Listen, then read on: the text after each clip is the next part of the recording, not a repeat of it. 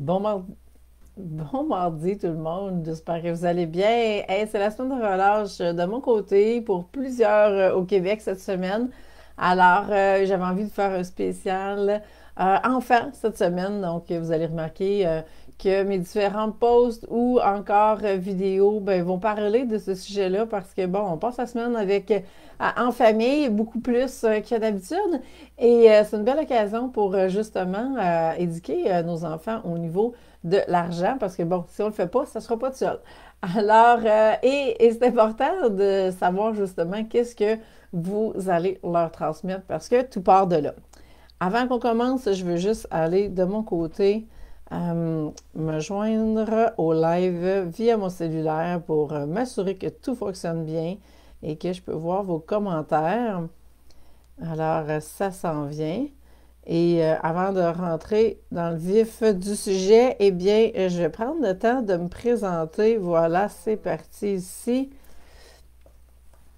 Donc, euh, je suis Isabelle Lefebvre, Money Business Coach. J'accompagne des entrepreneurs, dirigeants et gestionnaires à différents niveaux dans leur entreprise à soit euh, augmenter leur chiffre d'affaires, à tout mettre en place pour euh, accéder à la liberté financière et surtout, ce qui est vraiment le plus important pour moi, c'est de se créer une vie et une business riche de sens.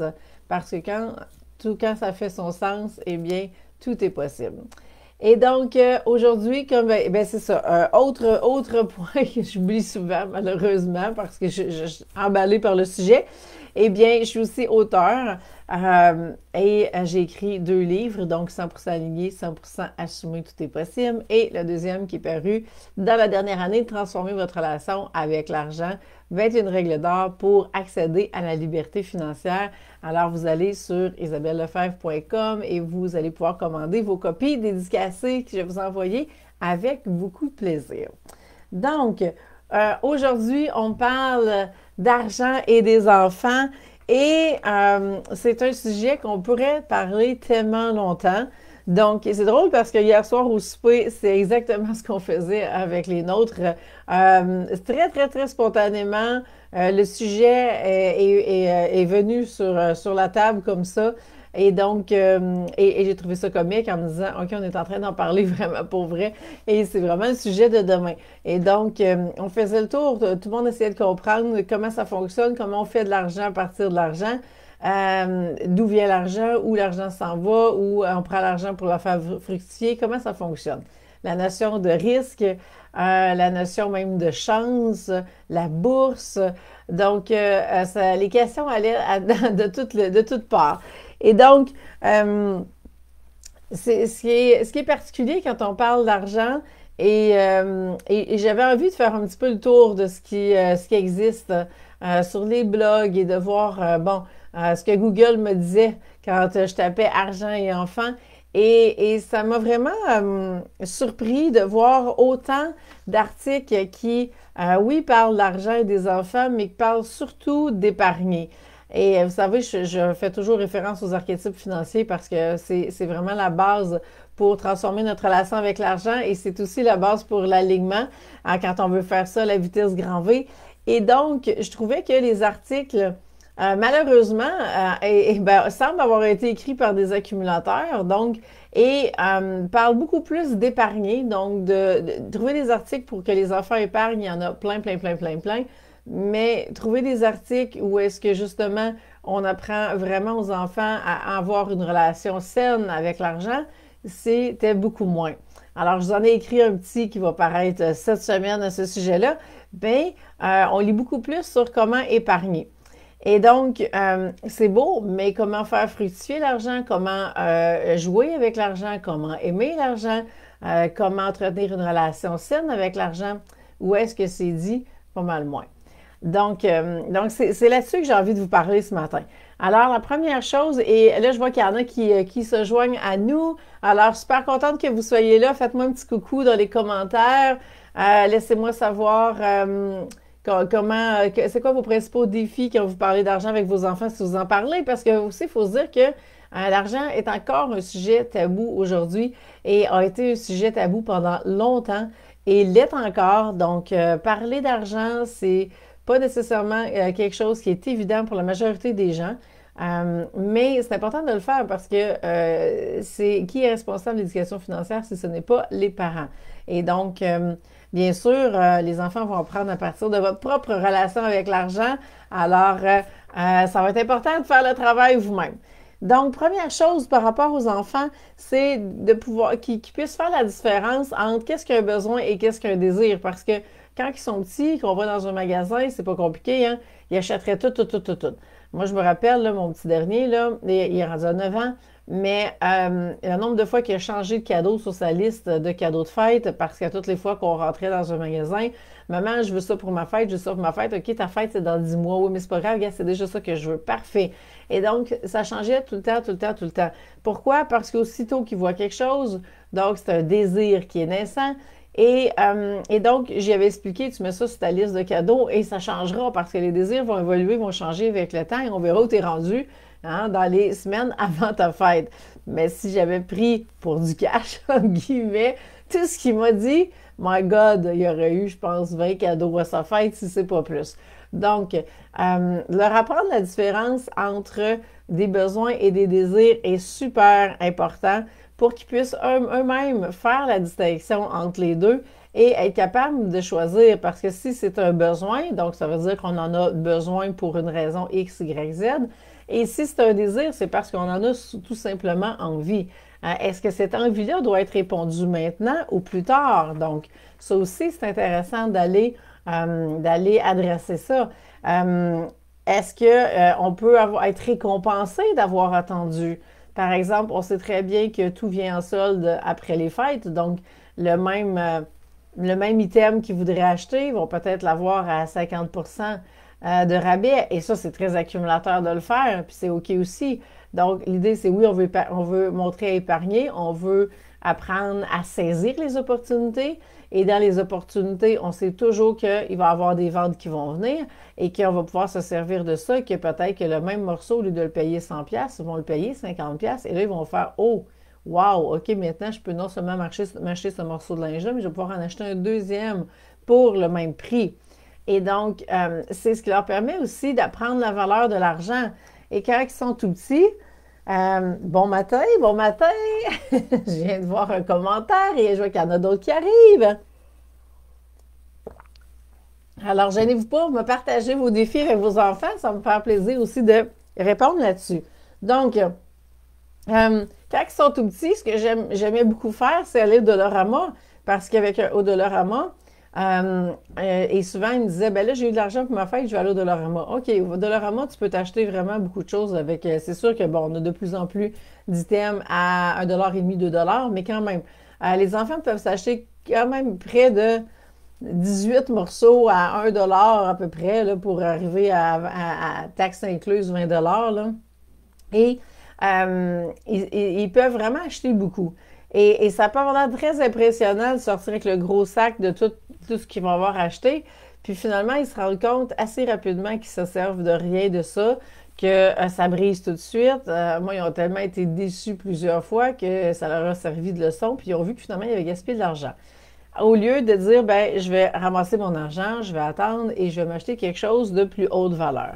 Et, euh, et je me rappelle, ma fille, ben, j'avais inculqué justement cette idée-là et elle voyait tous ses amis euh, dépenser des 20 dollars ici et là au Dollarama et je disais oui, je sais, tu pourrais faire ça si tu veux, mais tu ne seras pas en mesure d'acheter quelque chose qui te plaît vraiment parce que tu n'auras pas l'argent.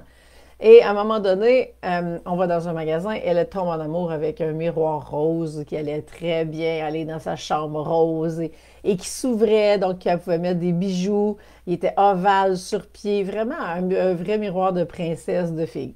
Donc, euh, elle me dit, maman, regarde le miroir, je le veux, je le veux. Là, on regarde ça, OK, 120 dollars. Il est en spécial en plus. Ben, oh, OK, intéressant. Et là, elle me dit, j'ai assez d'argent dans mon compte, je le veux. Et je ne sais pas quel âge qu'elle avait à ce moment-là. Je vais dire 9 ans. Aujourd'hui, elle est rendue, elle, vient d'avoir 15 ans. Et le fameux miroir lui sert encore. Donc, ça a été un super achat. Ça a été son premier gros achat. Et encore aujourd'hui, euh, malgré les déménagements, il a survécu. Elle l'a traîné avec elle. Il a toujours sa place privilégiée dans sa chambre et puis ça lui sert de coffre à bijoux et tout. Donc, il y avait une fonction pratique en plus d'être super beau puis de répondre à, tous ses, besoins et désirs. Donc, euh, est-ce qu'elle en avait vraiment besoin? Bien, plus ça allait, plus qu'elle allait avoir des bijoux, puis elle ne savait pas quoi faire avec. Donc, il y avait une notion de oui, je vais avoir besoin d'une place pour mettre des bijoux, puis il y avait une notion de désir parce qu'il est super beau. Et il y avait aussi une notion de j'ai assez attendu avant d'acheter des choses. Et là, je le sais que quand j'ai quand elle a vu ça, elle savait que euh, c'était ce qu'elle voulait et c'est là qu'elle passait à l'action. Et elle ne l'a jamais regretté. Donc ça, c'est un exemple d'achat qui est fait vraiment un coup de cœur, mais qui répond à des besoins et qui vient vraiment la récompenser sur tous les moments où est-ce qu'elle a attendu, où est-ce qu'elle a vu ses amis dépenser, où est-ce qu'elle ne comprenait pas pourquoi que ça dépensait comme ça, mais où est-ce qu'elle était en train d'apprendre la valeur de l'argent. Donc, euh, ça a été très formateur. Donc, apprendre la valeur de l'argent, bien, de cette façon-là, un 20 qu'on peut acheter dans un magasin versus 20 au Dollarama et voir la qualité du produit, le rapport qualité-prix, qu'est-ce que ça dit. Donc, énormément d'enseignements vous pouvez faire avec ça. Faire des comparaisons à l'épicerie. Euh, ça peut être aussi simple que euh, si on achète des pommes vertes ou si on achète des pommes rouges ou des pommes jaunes. Donc, on peut avoir 12 pommes pour 6 d'une autre sorte. Donc, on peut aller dans ces comparaisons-là, et leur montrer des choses. Fait que oui, on pourrait dire, ben, on achète les pommes de notre choix. Puis on peut aussi dire, ben, sais-tu, moi j'aime les deux, fait que je vais faire le meilleur choix cette semaine. Je vais y aller avec ceux qui euh, vont me permettre d'épargner et de pouvoir utiliser l'argent pour faire d'autres choses aussi. Euh, l'autre chose, c'est vraiment d'apprendre à aimer l'argent parce que, euh, et, c'est là, je trouve que souvent, quand on embarque dans un discours d'accumulateur, et le discours de l'épargnant va être exactement ce discours-là, et puis, j'ai une accumulatrice en moi, donc euh, je vous cacherai pas qu'effectivement, moi, je suis toujours à la recherche des meilleurs deals. Ça fait partie de qui je suis. Et, euh, j'ai des enfants qui sont accumulateurs aussi par la force des choses, parce que, veut, veut pas, euh, notre façon d'être avec l'argent, les enfants sont comme des éponges, je nous regarderai, ils vont faire exactement la même chose. Mais euh, l'important, c'est aussi d'aimer l'argent, d'aimer ce que l'argent peut acheter. Et, c'est là qu'on rentre dans une relation saine avec l'argent. Ce qu'on veut pas, c'est que les enfants aient une relation amoureuse. Donc, moi, j'aime ça quand j'ai de l'argent, puis quand j'en ai pas, je déteste l'argent. Non. Euh, l'argent euh, va faire référence au mindset aussi qu'on va avoir. C'est ce qui va déterminer la relation. Est-ce que je suis dans un mindset d'abondance? Et je pense que c'est une ressource illimitée? Ou est-ce que je suis dans un mindset de manque et je pense que euh, j'en ai pas et j'en aurai pas? Donc, euh, on doit faire la part des choses. Euh, moi, j'aime beaucoup leur dire que l'argent est vraiment une source qui est illimitée, oui, mais qui est épuisable quand elle est mal utilisée, quand elle ne répond pas aux besoins, quand elle est utilisée juste pour répondre à des désirs du moment. Donc, on a besoin de vraiment apprendre à, travailler avec l'argent, apprendre à faire une équipe avec l'argent. Euh, Sophie, je vois ton commentaire. Premier rapport d'impôt pour mes deux ados. Oh, wow! Il ne leur reste rien. Ils viennent de comprendre mon message de mettre de côté un pourcentage sur chaque paye. Première voiture, premier duplex. Euh, je n'ai pas appris ça dans mon adolescence. J'ai reçu de belles valeurs, mais pas d'éducation financière. Merci, Sophie, ton partage. on est vraiment là. Euh, effectivement, c'est vraiment, euh, ton, partage est tellement, euh, tellement pertinent, Sophie. Et oui, mais c'est ça, euh, on n'apprenait pas à l'éducation financière, n'a jamais fait partie de, de, de, nos, de notre culture. Alors qu'aux États-Unis, par exemple, je pense à, Robert Kiyosaki qui a écrit plein de livres, dont Père riche, Père pauvre, et qui dit à quel point que c'est l'éducation financière qui fait la différence. Et donc, euh, ces livres sont tous euh, sont extraordinaires. Tant qu'à moi, j'allais beaucoup référer dans, mon propre livre. Et, euh, Sophie, tu vois, moi, j'ai ma première est une accumulatrice pure et elle n'a rien dépensé et elle travaille maintenant, elle aussi, et l'argent reste dans le compte. Donc, qu'est-ce qu'on fait avec ça? Eh bien, moi, ce que j'aime, c'est la règle du 80-20. Et euh, j'ai lu une autre façon de fonctionner que je vais vous partager, mais personnellement, la règle du 80-20, je trouve qu'elle s'applique tout le temps. Donc, euh, étant donné que euh, les enfants sont, sont, jeunes, eh bien, pour moi, c'est tu places, tu épargnes 80% et tu peux dépenser comme tu veux 20% Donc, à ce moment-là, on a tout placé ou presque. Et, dans le cas de ma fille, ben, elle est pas mal là, je, place 100% parce que euh, elle dépense pas vraiment. Et si elle dépense, ça va être un gros achat. Donc, et, elle va être contente de se le permettre, mais c'est très rare. Et, euh, et ce que je leur dis, c'est que plus tard, ça va être l'inverse. Ça va être 80% de dépenses liées à l'hypothèque, liées aux enfants quand ils vont être adultes, liées à, l'auto, etc. Et 20 sera ce qu'ils placeront à ce moment-là. Donc, euh, et s'ils sont capables de suivre cette règle-là toute leur vie, bien, je pense qu'on a vraiment gagné. Donc, pour moi, la règle du 80-20 est comme ça. Donc, 80 d'épargne à l'enfant et, et à l'inverse, adulte, ce sera 20 d'épargne. Euh, et, il y a tellement d'adultes qui ne sont pas en mesure d'épargner. Donc, si un 20% d'épargne qui se fait, ça va être extraordinaire.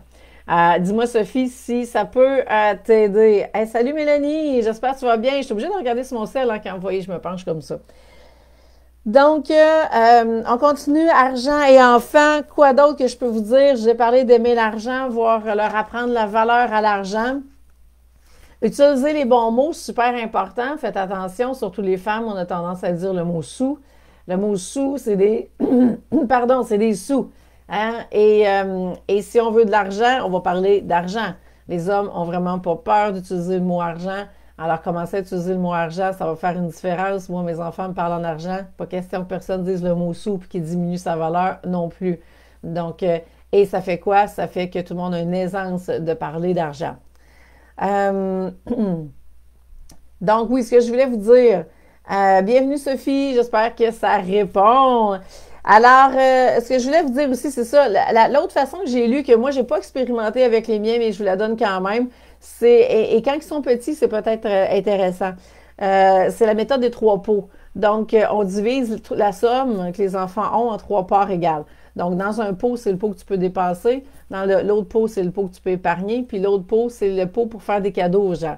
J'aime cet aspect-là de faire des cadeaux aux gens parce qu'on leur apprend la générosité, on leur apprend à aimer l'argent pour ce que l'argent peut acheter hein, et contribuer euh, au, bonheur des autres d'une certaine façon. Alors, euh, je trouve cette façon-là intéressante également, euh, mais plus complexe à gérer. C'est sûr que quand les enfants ont l'argent dans leurs mains, de dire on met ça vraiment dans les trois pots, c'est visuellement facile.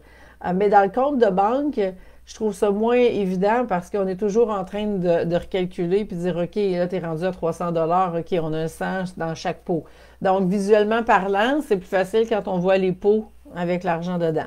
Euh, c'est ce qui fait que j'avais déjà lu cette méthode-là, mais j'avais de la misère à y adhérer. La règle du 20-80, ben, je trouve qu'elle est facile à appliquer. Et aussi, la règle du 20-80 ou 80-20 s'applique dans tout. Alors, j'aime beaucoup utiliser cette règle-là parce qu'on a beau parler de n'importe quel sujet, c'est une règle qui, qui apprennent à travailler avec, avec l'argent, mais qui va être transposable par la suite dans toutes les sphères de leur vie. Alors, c'est ce qui fait que, euh, que j'aime vraiment plus y aller avec cette façon de faire-là. Est-ce qu'il y en a qui ont d'autres commentaires, d'autres défis, d'autres partages qu'ils veulent faire par rapport à l'argent? Euh, c'était Sophie, c'était tellement pertinent, super intéressant, je suis contente, merci. Euh, l'autre chose, c'est de suivre leur argent, hein? Et euh, ça aussi, c'est important d'apprendre à suivre leur argent, surtout quand ça commence à gagner de l'argent et, à garder, par exemple. donc, l'argent rentre plus de façon ben, moins officielle, dans le sens que soit on donne de l'argent cash ou soit qu'on t'envoie un virement. Euh, mais il, reste que si l'enfant n'a pas appris à, suivre l'argent qui rentre, euh, peut arriver des erreurs. C'est déjà arrivé à ma fille. Elle a fait Oups, maman, je pense qu'elle m'a pas assez payé.